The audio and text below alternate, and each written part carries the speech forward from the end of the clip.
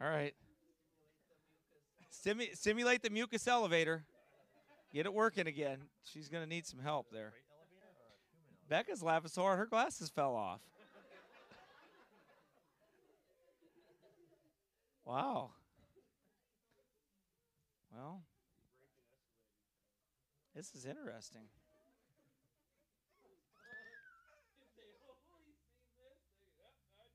I knew it. There's something wrong with those people.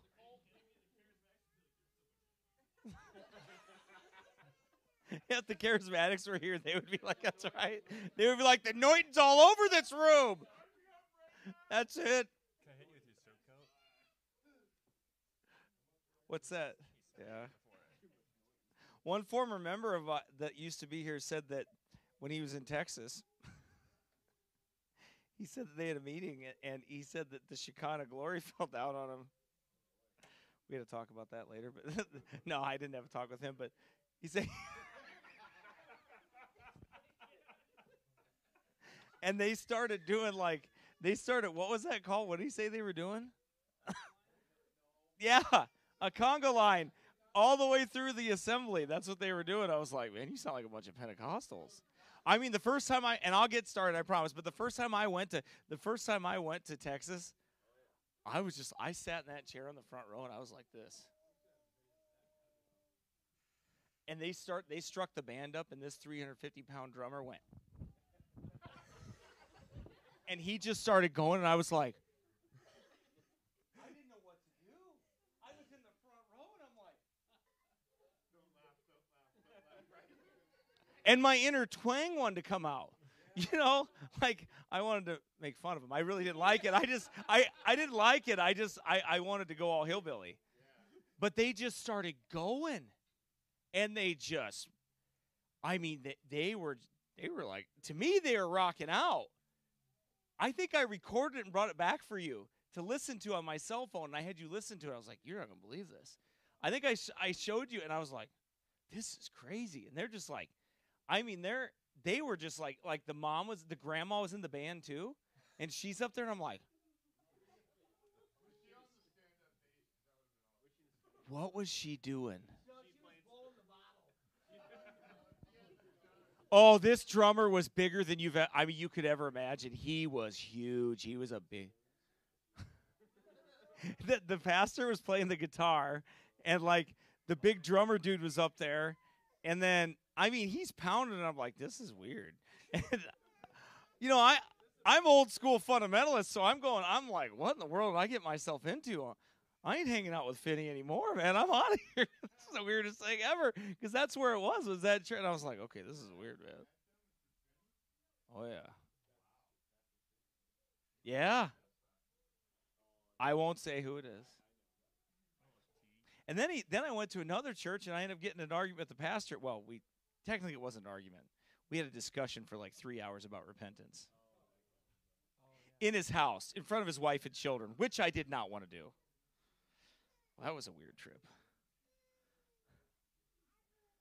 Huh? No, no, no. No, that was Texas, yeah. Oklahoma was weird too, but that's a different story. it is. Well, I was still happy to get back north, though. Yeah. God's country. I'm just not that kind of guy. I just don't boogie like that. I don't do that stuff, man. I don't add boogie into my worship music. I just, I just, I don't do that, man. That's not me. I was like, okay, I gotta get out of here. I want to bring David Cloud in here and burn the house down. Right? Or Alan Ives. Okay, you're all pagan. That's what I want to do. We're, we're going to talk about music again, though. We have to sometime. Except I'll do some PowerPoints and some other things and play some clips. Brother Andrew and I might do some things together, too. We're going to do a few things like that in the future. So, But um, anyway, Isaiah chapter 6. And we won't stay here. We'll be all over the Bible here. We're going to maybe finish up tonight with, with angels, with dealing with angels, and then get back into Acts chapter 8 um, and kind of finish. Well, I don't know if we'll finish, but we'll get back into it anyway, and talk talk about Philip and the eunuch and what took place there. and just kind of the mindset of all that that happened at the time and the interesting factors that, that went into that. Now, we may be finished here tonight with this. Um, there are a few other things that I'd like to, but we'll see if I have time to do that. Anyway, Isaiah chapter 6 and verse number 1. In the year that King Uzziah died, I saw also the Lord sitting upon a throne, high and lifted up, and his train filled the temple. So, as we can see here, Isaiah is is standing. He is standing there. He is taken up in a vision. In the year that King Uzziah died, he saw the Lord sitting upon a throne, high and lifted up, and his train filled the temple. That's the train. That's the, so there. There are seraphims everywhere. We're going to see in verse number two. There is the glory of God everywhere around the throne. Right, He is right there.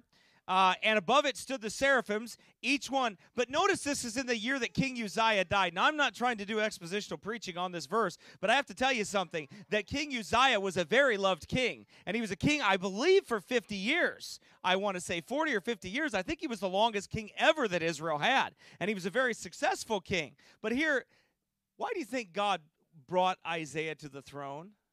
I'll tell you why. Because he was discouraged because King Uzziah died right? He was discouraged. So God was showing him a throne that was higher than a throne on earth. He was showing him a bigger throne. He was showing him his throne. He was showing him that God rules in the heavens. No matter what goes on earth, God still rules in the heavens. God is still over all. God is still King of kings and Lord of lords. No matter who's king in Israel, no matter who's president of the United States, no matter who's anywhere else in this world ruling it, God overrules all. He overrules all. His, he is high and lifted up. I saw also the Lord sitting upon a throne, high and lifted up. And his train filled the temple. Above it stood the seraphims. Each one had six wings. With twain he covered his face, and with twain he covered his feet, and with twain he did fly. Interesting, isn't it? That you have a six winged uh, being here uh, some would say beast, even at that sense. Um, but it's an order. It's an order of angels. There are many different orders. Well, there are a few different orders of angels, at least three that we know of. But we know that there there are the cherubims and there are the seraphim here. They are two different orders of angels. They are not the same. They are very similar. And there's some interesting things about Revelation that I'm going to cross over and show you their similarities. And I don't believe that we can explain it all. I don't believe that's possible uh, to do that. I had some things in here that, you know what? I think I might have put that away. I'll probably conk myself in the head here, but let me see. Is there? All right. Go see if on that table there, there's, oh, it might be here. Let's see here. I forgot about that that I was going to read. Yep, that's it. Okay, good. So I've, I have it right here. I want to read you out of Strong's McClintock tonight some information about seraphim, some more information. So it goes a little bit deeper to explain them a little bit. And then we're going to get into some, some of the, the translation of the word seraphim, what that means exactly, and kind of understand that. Let's pray. Father, Lord, please be with us now. Thank you for your word. In Jesus' name we pray. Amen. All right, in the year that King Uzziah died. So he says, above it stood the seraphims, each one. He, he, he describes them. And then one cried unto another and said, Holy, holy, holy is the Lord of hosts. The whole earth is full of his glory. So these seraphim are there to cry out to God. They are there to sing praises unto God. They are there. You know what? You're here to sing praises unto God too. That's why you're here. Let's go back and talk about that for a second. Uh, God's throne high and lifted up, and that He ruleth over all. Do you know whatever you're going through tonight, God is ruling over it all? Whatever trial you're facing tonight, whatever doubts and fears and and whatever health problems you have, whatever um, anxieties you have, whatever sources of discomfort that you have, whatever trials that you're facing tonight, decisions that you must make, it is God's throne that is high and above all of them. He rules over all of it. You ought to remember that. You and I have to remember that. God knows where you're at. He knows where you're at. He knows the situation that you're in. He knows what you're going through. And He is well able to see you through all of it. God knows. And you need to trust Him. You need to believe that promise of God. Amen. We've got to believe that. We see them say, Holy, holy, holy. Why do you think there's three? Yeah, one for the Father, one for the Son, and one for the Holy Ghost. That's why there's three. You always see that same in threes like that when it comes to God. They cried one to another all day. That's what they cry. Focusing on the holiness of God. And the posts of the door moved at the voice of him that cried, and the house was filled with smoke. We always see that, don't we? When we see the presence, when we talked about the cherubims, when we talked about God's presence, his throne on, on, on Mount Zion. Remember that? Uh, when his when his throne comes down on the mountains of Zion, when he comes down on Mount Sinai, there was what? There was fire, there was smoke, there was a cloud. All those there were jewels, all those things were present. And the posts of the door moved at the voice of him that cried, and the house was filled with smoke. Then said I, Man, am I holy? Man, am I sinless? Feels good to be sinlessly perfect. That's not what he said, is it? They didn't walk around, and Isaiah wasn't walking around and saying, Man, I'm, I mean, I've arrived. I am at the throne of God. Right? Well, you've got all these preachers today, though, that these the holiness movement and these Pentecostals and these others that are preaching a sinless perfection, a Christian perfection, they call it. And they're they're saying that, well, you know, if you really get saved, I mean, I mean, really get saved, well then, you'll you'll have Christian perfection and you you won't sin. You'll be sinless you'll walk around in Christian perfection. Now, I, I will I will tell you this that in the scriptures there's a pattern. And the closer a man gets to God, the more sin he sees in himself. That's just the truth. Some of you may shudder sometimes because your sin is ever before you and present in you, and it may not have bothered you at times before as bad as it does now. Well, that doesn't necessarily mean that you're further away from God. Many times that can be that you're closer to God. And the closer you are, the light shines and the holes are revealed. That doesn't mean that you're farther away from God, it means that you're getting closer to Him and you're starting to see things that bother you that didn't bother you before. And then you're like, well, why didn't it bother me before? Because you're growing in grace. You're growing. You're getting closer to the Lord. And now you're seeing things before that you didn't see. And it isn't very fun. But it isn't supposed to be. It's supposed to be sobering. It's supposed to warn us. It's supposed to show us mm, this is us. This is something we have to work on. That doesn't mean that just because you're going through something right now that, that God is far from you. Usually it's just the opposite. You know, usually usually it's just the opposite is that God is very near you and he is trying you. He is showing you who you really are. You know, I I'm ha- I have a hard time with those guys. Now listen, I've been saved for 18 years almost.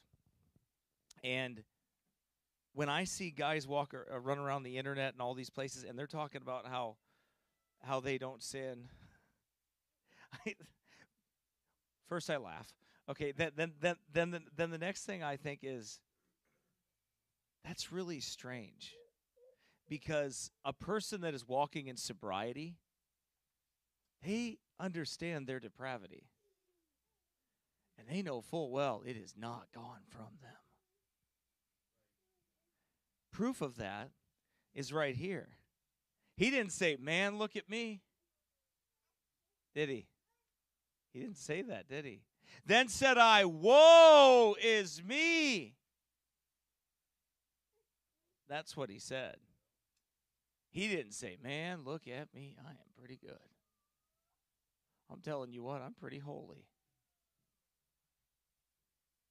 No. He said, Woe is me, for I am undone.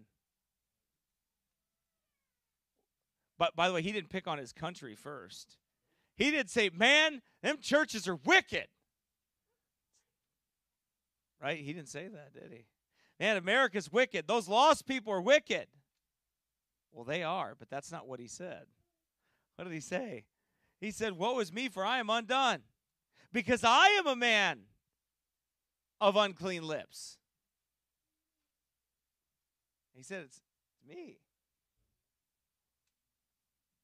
And I dwell in the midst of a, pe- of a people of unclean lips. For mine eyes have seen the King, the Lord of hosts. Think about that. He caught a glimpse of God's throne, he saw it. Then flew one of the seraphims unto me, having a live coal in his hand, which he had taken with the tongs from off the altar. I think that's interesting. Remember we talked about that those coals of fire. Remember we talked about the uh, with the cherubim. Remember when they had that, and he said, "Go take a coal off that fire." Remember when he said that to him? He said that to the man that was clothed in what? Linen. He said, "Go, go take that coal off the fire. Go take one of those coals off there. Look at this." Then flew one of the seraphims unto me, having a live coal in his hand, which he had taken from the tongs from off the altar.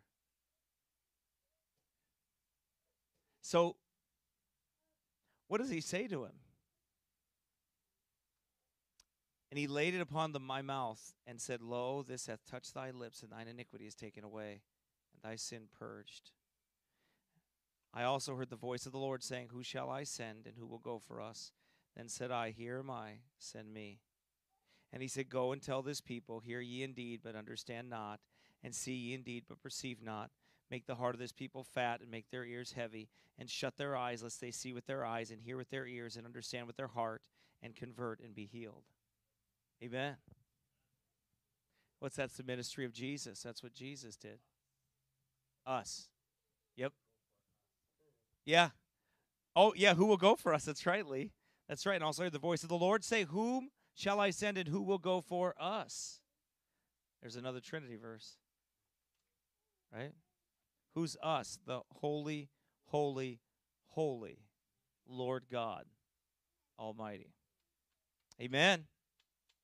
So, angels, uh, the, these, the definition that is that we find in uh, Webster's, I think it is, says they're the angels of the highest order in the celestial hierarchy. Their angelic being is connected with God's throne and holiness. So every time that you see them, they are connected to the throne. Kind of like a king always has a procession, he always has guards, he always has singers. David, eh, it, see, people don't realize all the things that David did. All he was doing was modeling after what was in heaven. I mean, he had singers, he had choirs, he had all those other, all all of those things were modeled after the throne. That's why he had people that's that did nothing but praise God all day long. Why? Because that's heaven. That's heaven. Is praising God all day long. Boy, we really don't do a good job of that, do we? I know this is supposed to be about angels. But isn't it true that we really tend to fret and fuss about ourselves and what we're going through or what our challenges are, and we really don't praise God enough? We, we don't spend our time praising God. Something to think about, isn't it? Good example. All right, let's see. Let's read you a very deep and boring dictionary. That'll be good. That'll make you want to come back next week. All right, let's see here. Let me find it. Here they are. Oh, they have a weird, weird picture of a guy named Serapis in Egyptian mythology.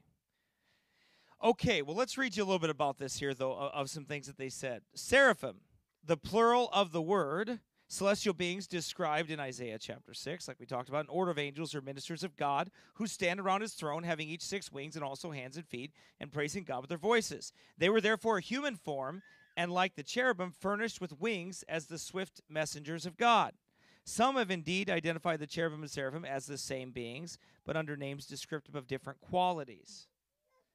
So they, they say there are different qualities with them. Seraphim denoting the burning and dazzling appearance of the beings elsewhere described as cherubim. So that word, which we're going to get to, we're going to describe some of that word, but it means to burn. Seraphim, that's what it means. It means to burn. That's what that word means, the first part of that. It would be difficult either to prove or disprove this, he says, but there are differences between the cherubim of Ezekiel and the seraphim of Isaiah, which it does not appear easy to reconcile. The living creatures of the former prophet had four wings, the seraphim of the latter six, and while the cherubim had four faces, the seraphim had but one. If the figures were in all cases purely symbolic, the difference does not signify. So he's going on to say they, they take from all different sources. What is Strong's McClintock is it's a, it's a dictionary of well, it's encyclopedia actually of biblical facts and studies. So let's say you wanted to study something to do. It's not not just biblical, but Christian. So let's say you wanted to study Mount Sinai, for instance, or something like that. So then you would go to this, and if you couldn't find what you wanted to on here, which a lot of times you can't, because there's some things, not about Sinai, but other things, you can't find anything on. But Strong's McClintock will have it in there. It, it'll he'll have they'll have like a lot on it. They'll have a lot on it. So anyway, so they're, they're very useful for that for that instance. Um, and uh, you know they'll find you some things that uh, that that may not be out there, some historical facts that are kind of not not around. Uh, let's see here. He says, um, let's see. There is much symbolic force and propriety in the attitude in which the seraphim are described as standing, while two of their wings were kept ready for instant flight in the service of God. With two others, they hid their faces to express their unworthiness to look upon the divine majesty. Um, so he explains that a little bit there. Let's see if he says anything that's. We may observe the idea. Okay, so a lot of. He's going to talk about that a lot of the cultures that are out there they have these demigods, right? They have that that have wings and they have they fly and they have hands and they're similar to those seraphims. Where'd they get it from? They got it from a perversion of the Bible. They got it from a perversion of the truth. That's where they got it from.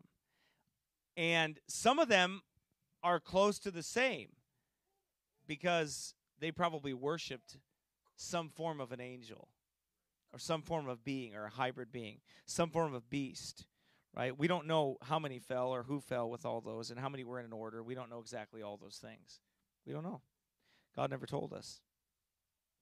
He says, We observe that the idea of a, of a winged human figure was not peculiar to the Hebrews. Among the sculptures found at Murghab in Persia, we meet with the representation of a man with two pairs of wings springing from the shoulders and extending the one pair upwards, the other downwards, so as to admit a covering the head of the feet. The wing in the instance imply deification for speed and ease of motion to stand in man's imagination among the most prominent tokens of divinity. So the fact that they had the wings. Uh, let's see here. He says, talks about the head and the feet. The meaning of the word seraph is extremely doubtful. The only word which resembles it in the current uh, Hebrew is seraph, which the idea of brilliancy has been extracted. Such a brilliance would harmonize with other depictions of celestial beings. So there's talk about a light, brilliance, burning, which we're gonna we're gonna kind of get to here. So the uniformly translated word for that is to burn. It's translated in different areas. The same word as seraph is translated in the King James Bible differently in Numbers chapter 21. So turn there, Numbers chapter 21. To burn. Okay, it's the same thing, a fiery serpent, right? Uh, let's go to Numbers 21 here.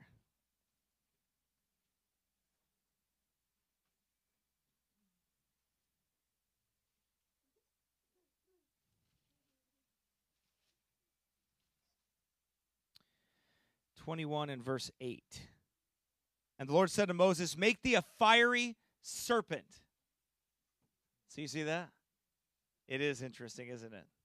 a fiery serpent and set upon a pole, and it shall come to pass that everyone that is bitten when he looketh upon it shall live. There's a so that means to burn. It means fiery. It's a fiery serpent. Then uh, go to Isaiah chapter 14.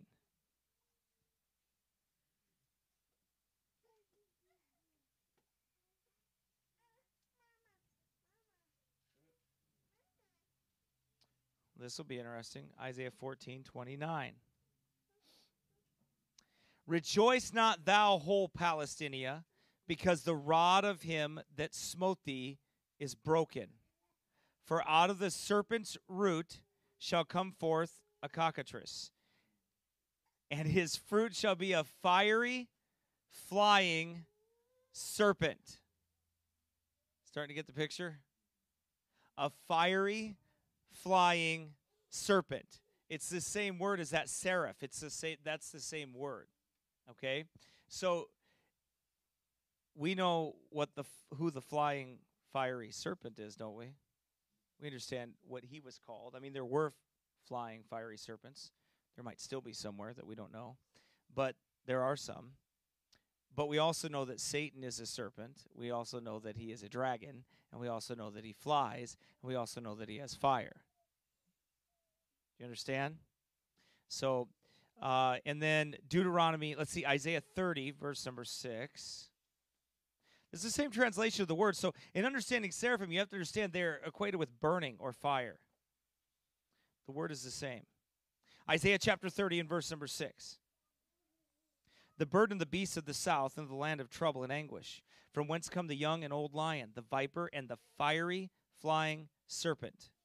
They will carry their riches upon the shoulders of young asses and their treasures upon the bunches of camels, to a people that shall not profit them. The lion, the viper, flyer, fiery flying serpent. Okay? Um, there's more. It's rendered uh, fiery in the passage before us, seraphims. So we understand that I, Isaiah is talking about fiery, that, that seraph, those fiery, those burning one. It says, with twain he covered his face. And uh, this angel, these these seraphim, with twain he covered his face. This is designed doubtless to denote the reverence, awe inspired by the immediate presence of God. I mean, they're standing in the presence of God. What do they do? They cover their face. God is holy. Think about that. To cover the face in this manner is the natural expression of reverence. And if the pure and holy seraphim evince such reverence in the presence of God, with what profound awe and veneration should we, polluted and sinful creatures, presume to draw near to him? Assuredly, their position should reprove our presumption when we rush thoughtlessly and irreverently into his presence, and should teach us to bow with lowly veneration and deep humility. Think about that. That when we pray, we're praying to God. We're praying, our prayer goes up to the throne of God. David talked about that. David said in Psalm that God heard his prayer out of out of his holy in his holy hill. God heard it from his throne. God heard his prayer. It went up to his throne. Turn to Revelation chapter 4. There's some similarities here between these these angels, these seraphim and and cherubims as well. I think it's interesting that we read here in verse number 9.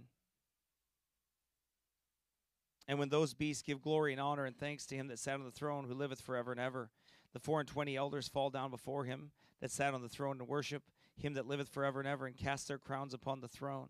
Before the throne, saying, Thou art worthy, O Lord, to receive glory and honor and power, for thou hast created all things, and for thy pleasure they are and were created.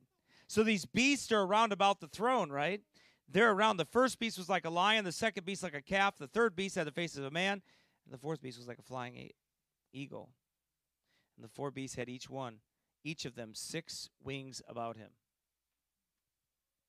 And they were full of eyes within, and they rest not day and night, saying, Holy, holy, holy, Lord God Almighty. Now, I have somewhat of a theory. I I've heard that these are cherubims, and and I, I kind of tend to agree. I tend to believe that because they have six wings, they're not. I believe they're I believe they're seraphims. I just don't believe they're cherubims because they have six wings. I also think that the reason why we don't their faces aren't described in Isaiah is because of the New Testament revelation had not been given yet. Christ had not come yet. So I believe that that that everything was revealed, the that veil was torn down, right between the, between the holiest. The veil was torn down, and and and clarity was given. And that's why I believe that we see their faces. The first piece is like a lion. it's very similar to those cherubim. So it's really hard to discuss. It's really hard to understand why do they have four wings there? Why did they have four wings? Why did the cherubim that Ezekiel saw have four wings? Why do these have six? I can't answer that. There's some things that you just can't answer. I, I don't know. I, I'm not sure why that is the case. In, in, all, in all actuality, it really doesn't matter. Maybe there are different processions of of uh, different orders. Maybe the cherubim come sometimes. Maybe the maybe there are different orders of cherubim. Maybe there are different orders of seraphim. Maybe they don't all look uniformly alike. Maybe there are some that are different. God chose not to tell us that. He showed he chose not to explain that to us very deeply. So we just have to say, okay, well, we'll see it someday. Amen. That's what we have to do. That's how we have to look at that. That's the only way we can look at it. It's also important to know that these beasts in heaven can talk. These, these are beasts. Holy, holy, holy. These are beasts in heaven and they're talking. We saw God allow Balaam's ass to speak, right? There are beasts in heaven that speak. I think you're going to see beast creatures that come down here, and I think they're going to speak. I think you're going to see, if we're alive at that time, I think you're going to see those beastly creatures, maybe not those, but Satan's the ones that fell, I think you may see them and you may hear them speak. I think there'll be beasts that speak. I I, I absolutely believe that because there are beasts in heaven that speak. The Bible says that they are beasts, and the Bible says so. I want to ask you a question. What you think about something? It says the first beast was like a lion. So do you think that the lions and all those things were created after these? were created after, modeled after what was in heaven. So then this is these are like the fourth it says here the first beast was like a lion, like a lion. Now why did he say that to us? Cuz it's not a lion. But it, the only way to describe it to us to make it make sense is to say, well, it's like a lion. Where do we see that too? Anybody remember where that was? That's not the only time that says something similar to that. Who remembers those lion-like men of Moab? Those men that were that were lion-like and they were in the pit and they had to fight them and they were like these hybrid men. They didn't say they were men. They said they were lion-like. And right. And they were some kind of creatures and that when when they're and, and why are those men noted or those beings, those beast-like men, they are noted with the giants of David's mighty men in the battles that he fought. And those beasts are noted at that time. Right? He says he says and then they slew these lion-like men in the pit. Right? And then he slew Ishbi-benob slew this man and, and he talks about all the giants that were slain and the different men.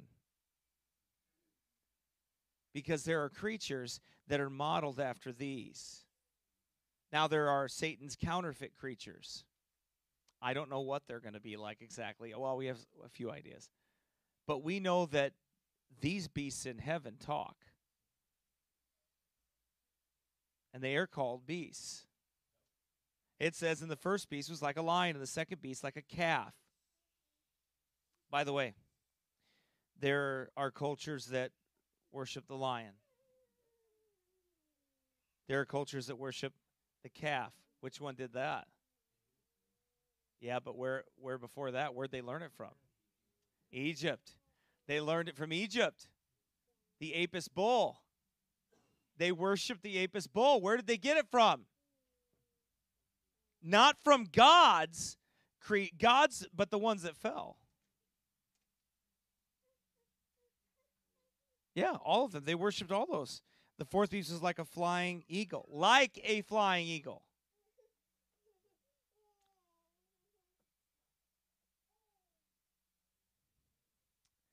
Right?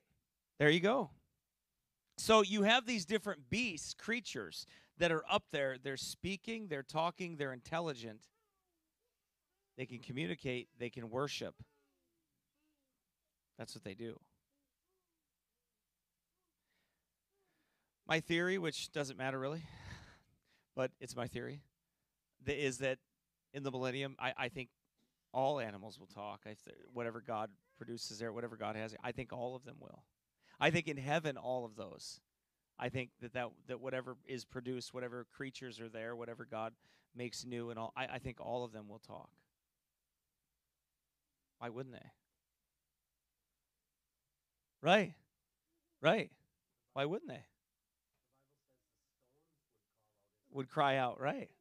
So, we, you know, it, it wouldn't surprise me if that if that happens in the future. It makes sense. Makes perfect sense that it would. Everything will be different. Yep.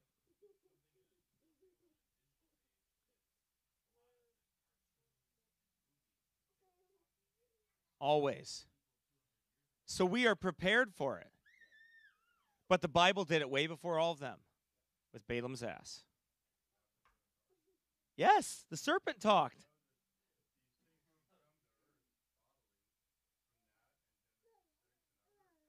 And the hybrids that are going to come up from the earth. I mean, there's there's a lot of weird stuff that nobody wants to talk about. I kind of like it, but but but there's a lot of weird stuff that nobody wants to talk about, and that's like talking snakes and stuff. It's like so when people say to you, "That's never going to happen," well, it already did, and he said it was happening there.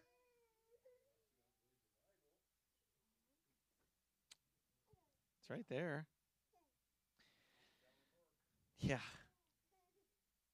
Like Origin? That was gay. Um, Twain, two wings alone of the six were kept ready for instant flight in God's service. They veiled their faces.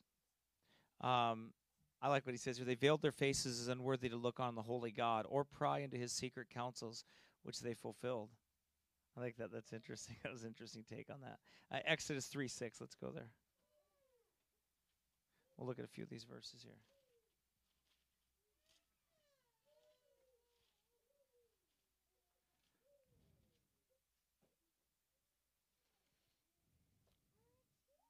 Moreover, he said, I am the God of thy father, the God of Abraham, the God of Isaac, and the God of Jacob. And Moses hid his face, for he was afraid to look upon God. So those angels, they do the same. They they covered their face, right? How about Job 418? Nobody's allowed to cry. I'm not finished yet. Job four eighteen.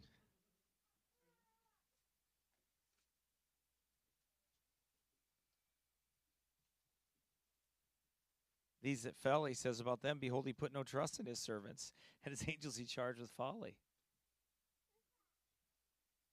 I was talking about that today on my broadcast. Did anybody get to listen to that today? Anybody at all? I hope you get a chance to listen to that one. Did you listen to it?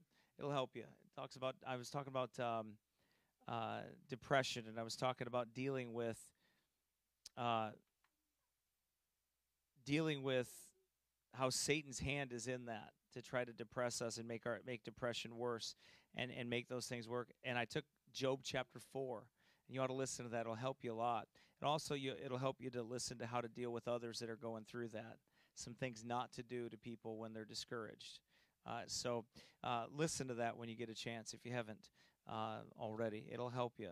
And, and if it doesn't help you, it'll help somebody else, which will in turn help you. So, um, anyway, so if you get a chance to listen to that, I think it'll be a blessing to you. Job 15. Well, I'll tell you what, reading the book of Job, I'm going through it in my devotions again. Almost make you feel like you got it easy when you start reading Job.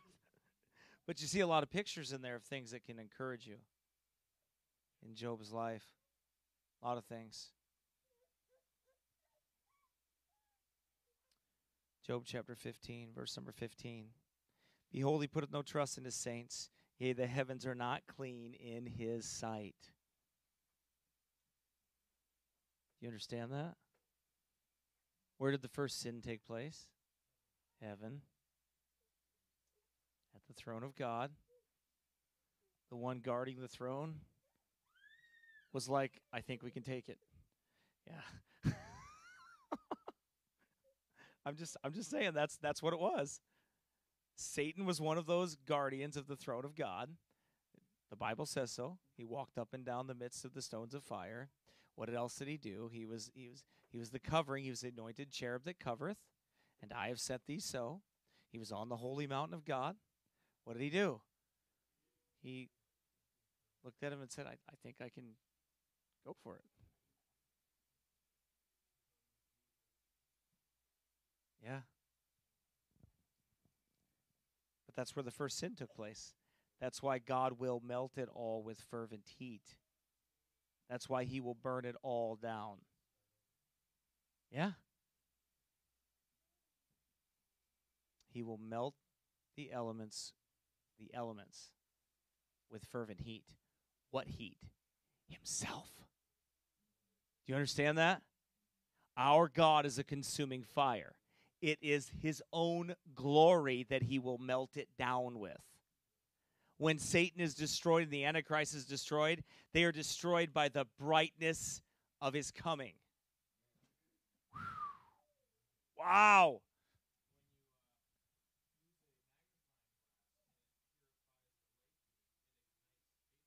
Wow.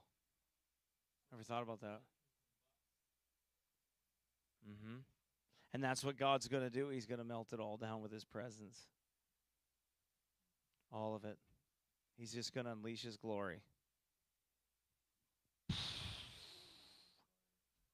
Hmm? In flaming fire, taking vengeance on them that know not God and obey not the gospel of our Lord Jesus Christ. He's going to burn it all down. That's what he's going to do. Yep. Yeah.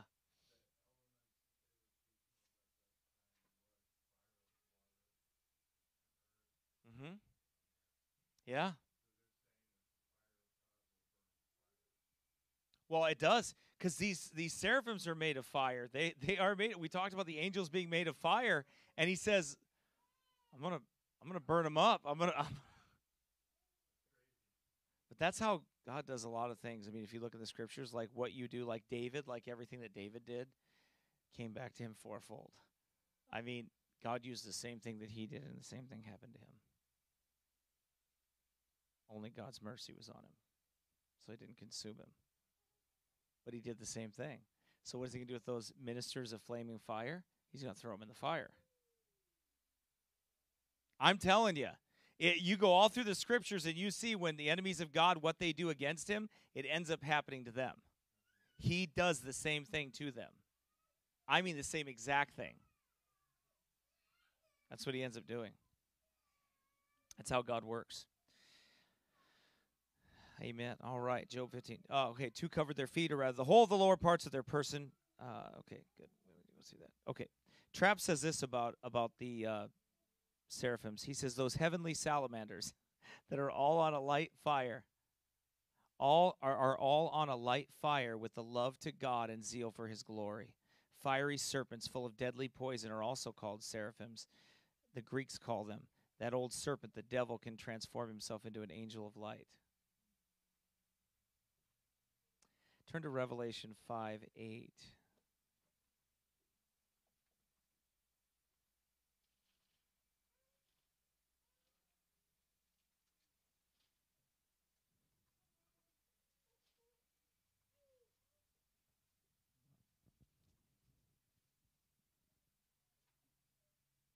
And when he had taken the book, the four beasts and the four and twenty elders fell down before the Lamb, having every one of them harps and golden vials full of odors, which are the prayers of the saints. And they sung a new song, saying, Thou art worthy to take the book and to open the seals thereof, for thou wast slain, and hast redeemed us to God by thy blood out of every kindred, and tongue, and people, and nation, and hast made us unto our God kings and priests, and we shall reign on the earth. Amen. And I beheld and I heard the voice of many angels round about the throne, and the beast and the elders, and the numbers of them were was ten thousand times ten thousand and thousands of thousands. That's a lot. Saying with a loud voice, Worthy is the Lamb that was slain to receive power and riches and wisdom and strength and honor and glory and blessing, and every creature which is in heaven and on the earth and under the earth, and such as are in the sea, and all that are in them, heard I saying, Blessing and honor. Did you hear what I just said? every creature which is in heaven and on the earth and under the earth, and such as are in the sea, and all that are in them, heard I saying, all those creatures he heard them saying. Blessing and honor and glory and power be unto him that sitteth upon the throne. Man, that is going to be one loud chorus. Right? From the sea, everywhere. From the earth, from the sea, from the heaven, from under the earth. Not the flat earth.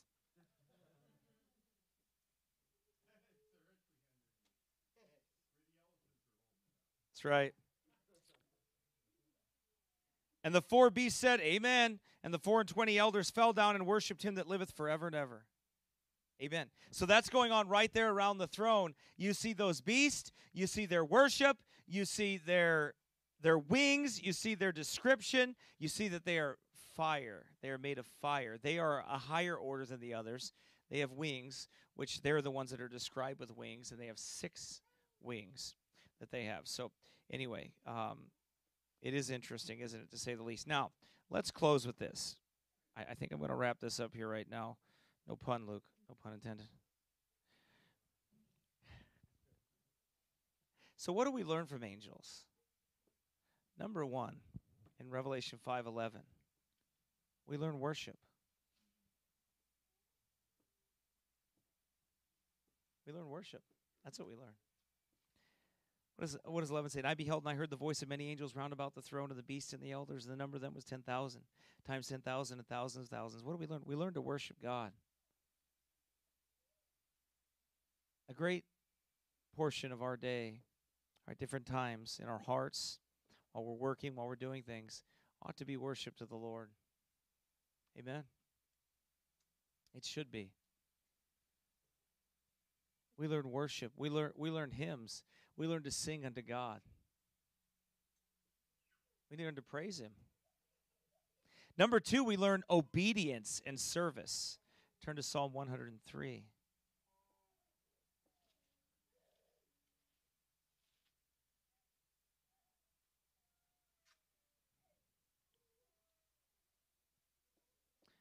Verse 20 to 21. Bless the Lord, ye his angels that excel in strength, that do his commandments hearkening unto the voice of his word. Bless ye the Lord, all ye his hosts, ye ministers of his that do his pleasure.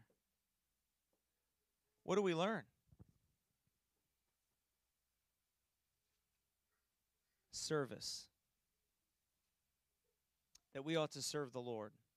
Our lives ought to be filled with services. The angels, they, they teach us that. They, they, that they serve the Lord. And that's what we ought to do we ought to be about our Father's business. We ought to be about serving the Lord. When Jesus came here the first the, the first time, what where was he? Uh, wist you not that I must be about my Father's business? He was in the temple. It was his Father's temple. He was about his Father's business. What was the business? That book. That was the business. We ought to our lives ought to be about our Father's business. That's the same. And the angels, they they would they would show us the same thing, obedience and service. God says it in His Word, then we just do it. Amen. God says it in His Word. I didn't say in your feelings or anything else. I said in His Word. Then you do it. Yep. What's that? Go ahead. Amen. That's right. It's a good way to end it, isn't it? Let everything that hath breath praise the Lord. And that's that's what God wants from us. That's what, that's what we ought to give him. That's what we learn from angels. That's everything. Always praising God. How about First Peter chapter 1? Let's go there. They have an interest in God's word. So should you.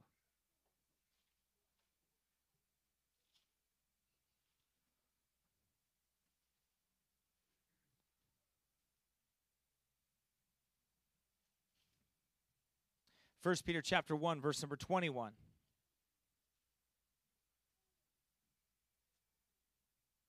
Or is it Second Peter? It might. Oh, it's verse 12. I'm sorry.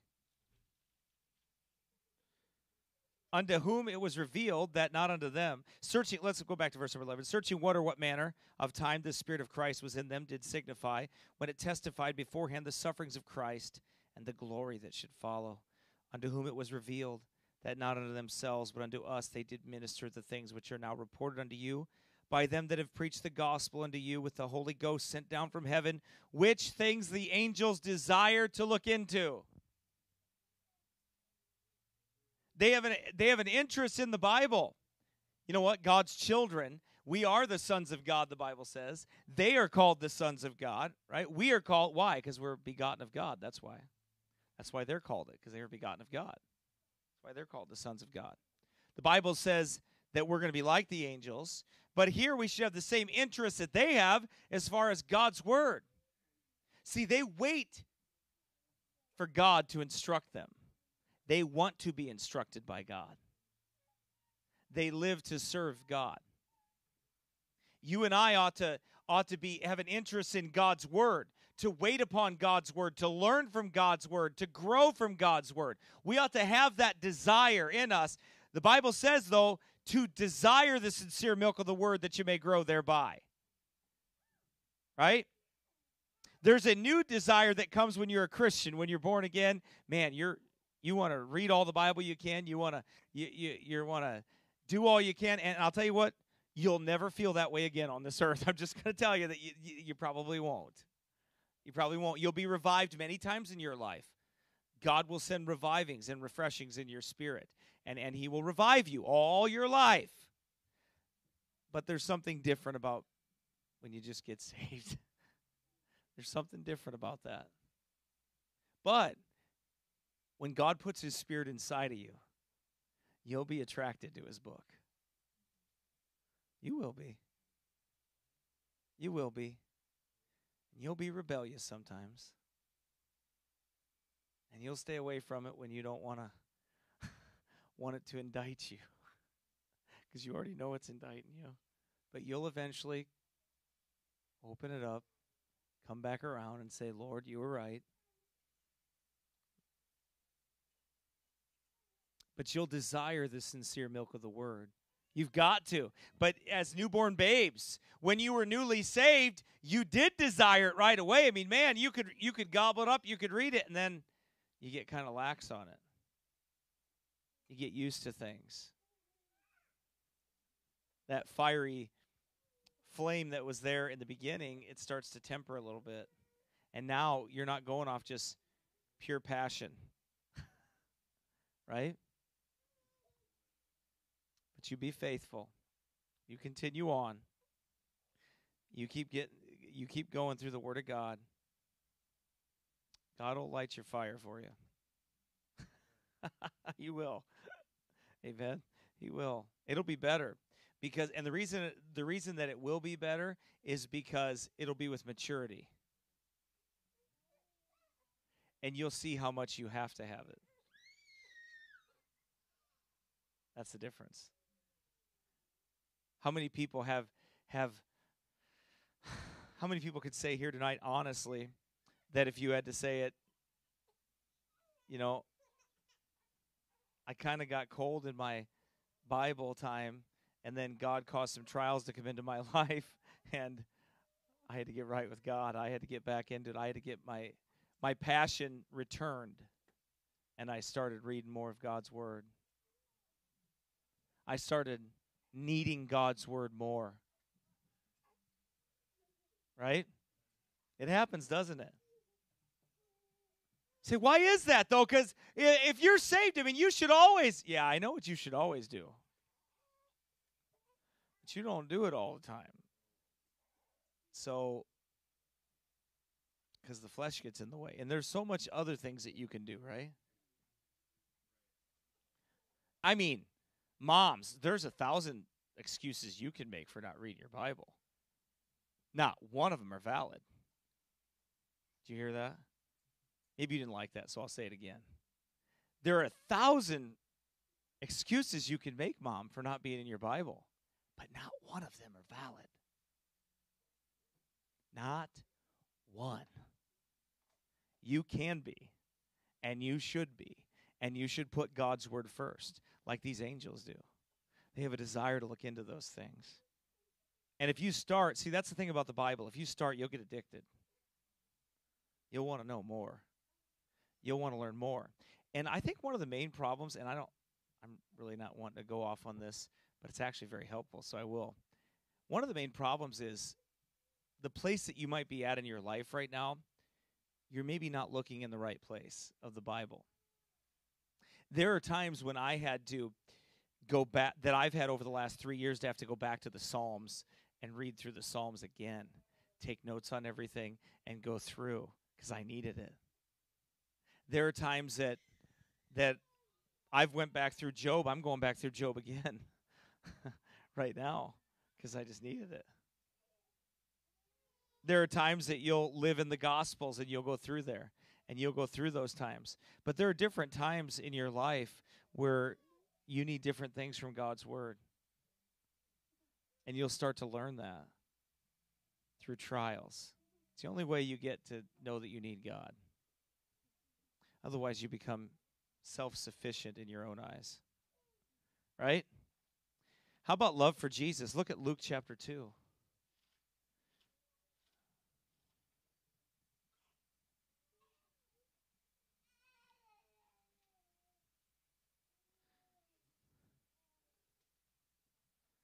Luke chapter 2, verse number 13.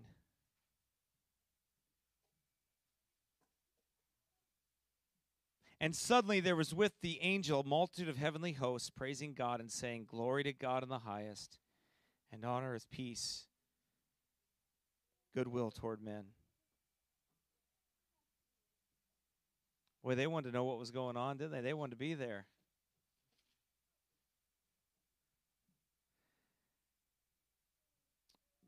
Mark chapter, oh, Matthew, sorry, Matthew chapter 4.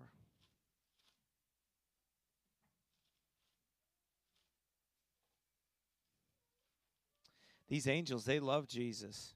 Matthew chapter 4, verse number 11. Then the devil leaveth him, and behold, angels came and ministered unto him. Why? Because they loved him. To encourage him, that's right. That's what they do. How about Luke chapter 15? The excitement about sinners being saved.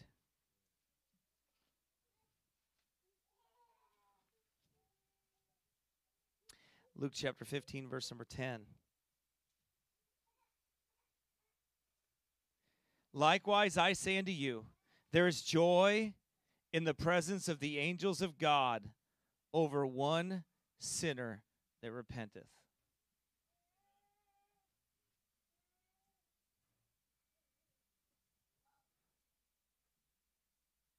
One sinner that repenteth. Joy in the presence of the angels. What are they doing? They're singing the hallelujah chorus up there, is what they're singing. Amen when one gets saved. And we ought to have the same joy. We ought to have that same joy for people to be saved. We ought to have that same desire for them to be saved. Well, that's a little bit about angels. Hopefully, that gives you some understanding there. Those are the seraphim, the cherubim. We talked about them. The angels. There were two more really weird creatures that I haven't talked about yet, but I might not.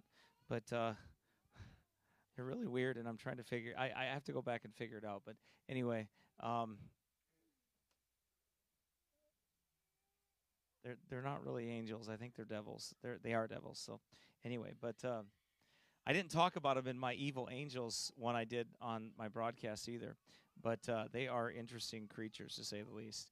So kind of weird, but maybe we'll talk about them sometime. Maybe not. That won't get you too spooky here. But anyway, lot to learn about them. But your Bible is full of different examples of what the angels do, what their ministry is and you won't know it all. But you should try. You should try to learn it. So much in here to help you in your daily life, to feed your soul with. Don't forget to do that. Don't forget to meet with God. Don't forget to be in your Bible. Don't forget to be praying to God. Don't forget to learn from the from the word of God. Don't forget to memorize scripture. Don't forget to meditate upon it. Amen. It's important. It's important. All right.